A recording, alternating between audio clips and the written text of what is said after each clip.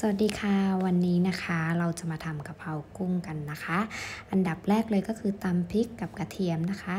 ก็ใส่ตามความชอบเลยนะคะ อันนี้โมก็จะใส่พริกแห้งด้วยนะคะสับพอละเอียดเนาะแล้วก็ใส่พริกกับกระเทียมลงไปผัดก่อนเลยนะคะ ผัดในน้ำมันที่ไม่ต้องใช้ไฟแรงมากนะคะ เดี๋ยวจะแบบไหม้ซะก่อนเนาะต่อไปก็ใส่น้ำมันหอยลงไปเลยค่ะ ใส่ประมาณ 3 ช้อนโต๊ะนะคะ ต่อด้วยซอสฝาเขียวประมาณช้อนครึ่งค่ะ ใส่ลงไปผัดให้เป็นน้ำซอสนะคะ ต่อด้วยซีอิ๊วขาวนะคะ ใส่ลงไปเล็กน้อย แล้วก็ผัดให้ซอสเข้ากันนะคะ อันดับต่อไปใส่กุ้งได้เลยค่ะ ที่ผ่าหลังแล้วก็เอาไส้ดำออกแล้วนะคะขั้นตอนนี้ค่อยๆคคลุกให้เข้ากันนะคะ ไม่ต้องรีบนะคะ เดี๋ยวกุ้งจะเละเนาะ คลุกเลยค่ะ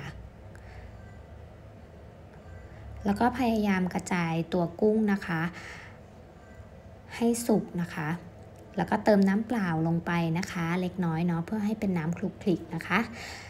หลังจากนั้นก็ใส่น้ำตาลครึ่งช้อนชาค่ะ แค่เล็กน้อยแค่ให้ตัดรสแค่นั้นเอง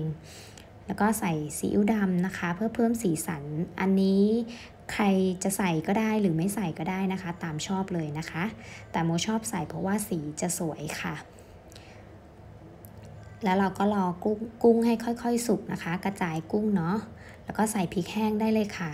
โรยลงไปเลยประมาณ 1กำมือนะคะ อันนี้จะหอมมาก อันดับสุดท้ายนะคะ เราจะใส่ใบกะเพรานะคะ ที่ล้างน้ำสะอาดนะคะ ใส่ลงไปเลย ใส่ลงไปแล้วก็ผัดไม่ต้อง นานมากนะคะ ให้พอกระเพราให้พอสลดไฟนิดนึงนะคะ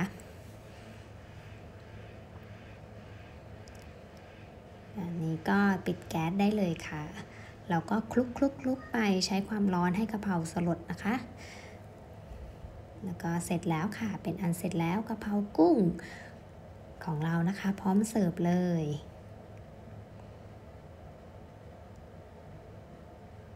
สำหรับวันนี้นะคะอขอบคุณทุกคนที่ติดตามนะคะ ขอฝากไว้ด้วยนะคะเพจนะคะ